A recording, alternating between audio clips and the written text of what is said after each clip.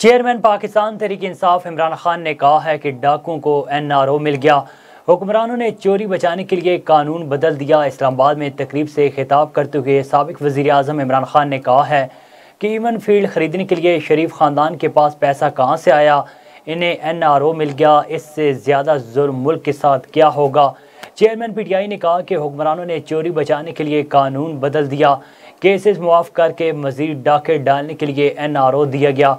उन्होंने मजीद कहा कि अगर मेरे पैसे बाहर होते तो एब्सोल्युटली नॉट कहने की हिम्मत ना होती। ग्रोथ रेट नीचे गिरने का मतलब है मुल्क में बेरोज़गारी बढ़ती जा रही है। तनख्वाहदार तबका इस महँगाई में मारा जा रहा है। इससे कबल chairman P T I Imran Khan ने इस्लामाबाद हाईकोर्ट में पेशी के मौके पर सहाफ़ियों से गैर रस्मी गुफ्तु भी की थी।